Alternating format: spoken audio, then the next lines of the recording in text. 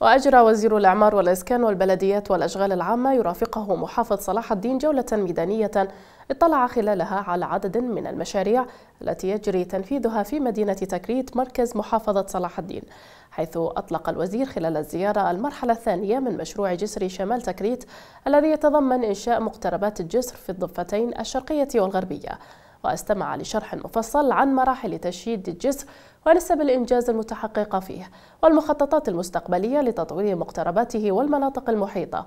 بعدها تفقد مع المحافظ موقع مشروع مجسر الدلة الحيوي وسط تكريت مطلعا على نسب الإنجاز وموجها لتذليل المعوقات التي قد تواجه العمل بغية الانتهاء منه قبل الفترة الزمنية المحددة.